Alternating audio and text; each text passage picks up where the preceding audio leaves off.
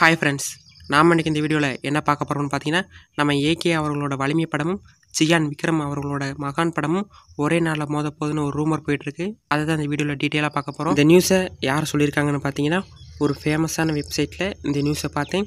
So அதுக்காக தான் இந்த வீடியோவை மேக் பண்ணேன். அதில் அவங்க என்ன சொல்லியிருக்காங்கன்னு பார்த்தீங்கன்னா வர ரெண்டாயிரத்தி இருபத்தி ரெண்டாம் பொங்கலுக்கு வந்து பார்த்தீங்கன்னா நம்ம ஏகே அவர்களோட வலிமை படமும் சியான் விக்ரம் அவர்களோட மகான் படமும் ஒரே நல்ல மோத வாய்ப்பு இருக்குன்னு சொல்லியிருக்காங்க. அவங்க எதை வச்சு அப்படி சொல்லியிருக்காங்கன்னு பார்த்தீங்கன்னா நம்ம வலிமை படத்திலிருந்து போஸ்ட் ப்ரொடக்ஷன் வேலைகள் இப்போ நடந்துட்டு இருக்கு மகான் படத்துக்கும் பார்த்தீங்கன்னா இதே நிலைமை தான் அவங்களுக்கும் இப்போ டப்பிங் ஒர்க் தான் போயிட்டு இருக்கு லேட்டஸ்ட்டாக கூட பார்த்தீங்கன்னா மகான் படத்தில் இருந்து விக்ரம் துரு விக்ரம் அவரோட டப்பிங் ஒர்க் போயிட்டுருக்க மாட்டோம்.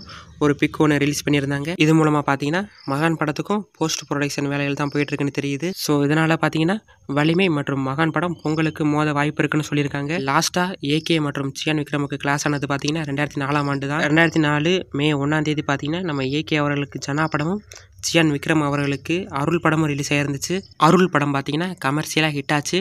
சன்னா படம் பார்த்தீங்கன்னா ஒரு ஆவரேஜாக போச்சு. ஸோ பதினெட்டு வருஷம் கழிச்சு ஏகே மற்றும் சியான் விக்ரம் அவர்களோட படங்கள் ஒரே நாளில் ரிலீஸ் ஆக போகிறங்கிறது பயங்கர எக்ஸைட்மெண்ட்டாக இருக்குது ஓகே ஃப்ரெண்ட்ஸ் உங்கள் ஒப்பீனியன் என்ன?